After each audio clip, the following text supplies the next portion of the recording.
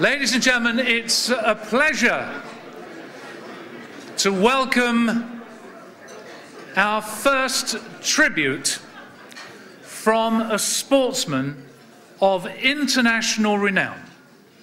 Ladies and gentlemen, a great goalkeeper and captain of the Old Wilsonian 7th 11, would you please welcome Bob the Cat Bevan, a member of the Most Excellent Order of the British Empire.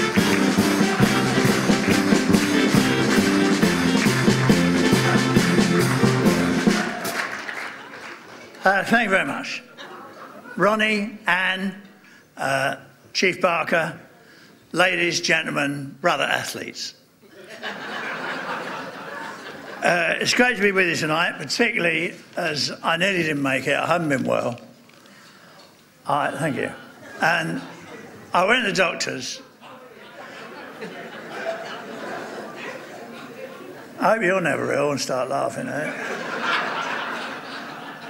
I went to the doctors. I said, I'm having a lot of trouble sounding my F's, my T's, and my H's. And he said, Well, you can't say fairer than that then.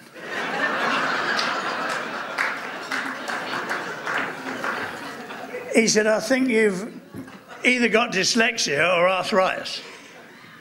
He said, I want you to go home and get a dictionary and look up dyslexia, and if you can find it, you've got arthritis.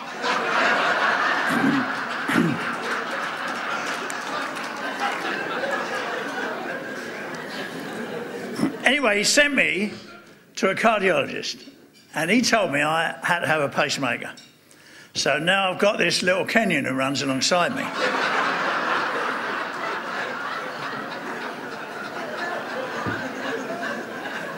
this is night off tonight.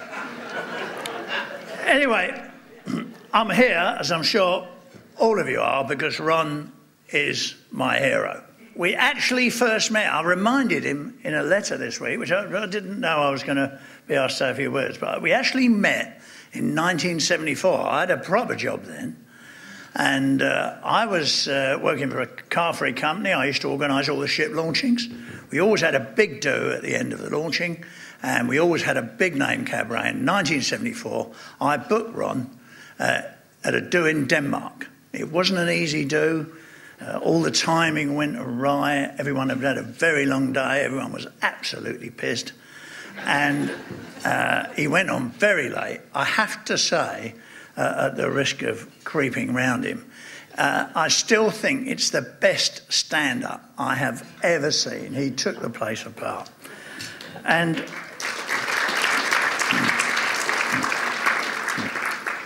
Years later, sort of bizarrely, he asked, he asked me to appear for him at something at the Fairfield Hall. So the wheel went, went full circle. And I, I got to know him over the years, and we've, uh, we've watched Crystal Palace together. Probably one of the funniest things either of us have ever seen, I should think, Crystal Palace.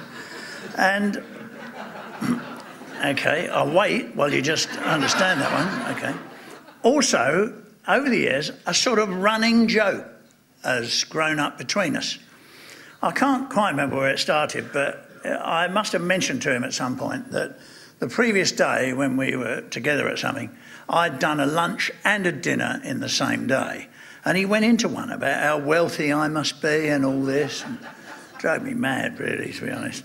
And, um, and uh, this has gone on. This has become a running joke. So if ever we correspond or we meet or whatever, this is always mentioned. One night we were at a party together and we were talking to Peter Alliss, the famous golf commentator.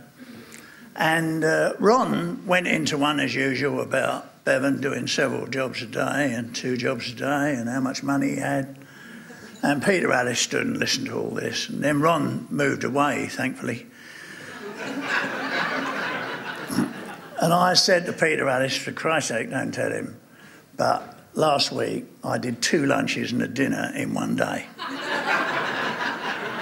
Unfortunately, Ron heard this and came storming back and went into one, could I lend him some money and all this sort of stuff. Eventually, I sort of shut him up and I said, Look, I said, um, I probably didn't earn as much in those three gigs as you would earn in one. And he looked at me and he said, Could you take the word probably out of that sentence? so I've always thought, apart from being a great comic, he's a really nice bloke, but obviously he does have a bit of an edge.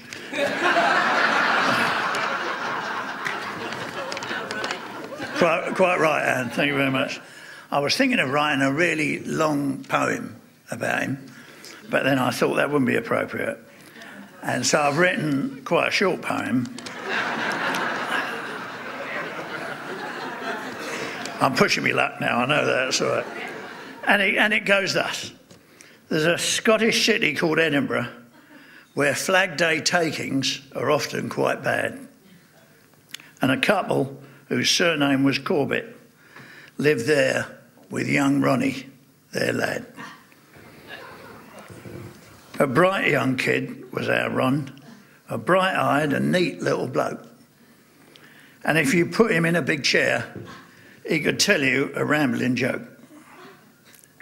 No one got that? Okay, carry on. he grew up to bring laughter to millions. Yet he still kept his vigour and vim. For in the world of comedy, there is no bigger man than him.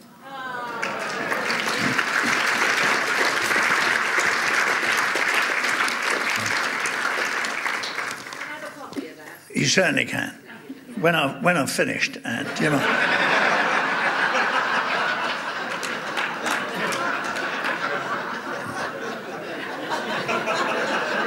You should have left her in the car, Ron, I tell you.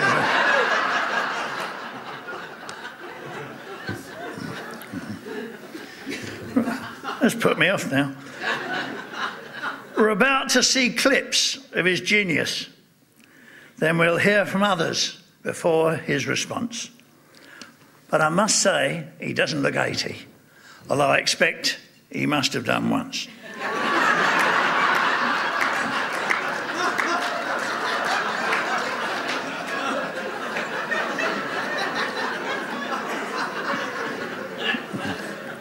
Got the wrong glasses here. So, Ron, more power to your elbow as for the next decade you get set. But keep well away from organic foods. You need all the preservatives you can get.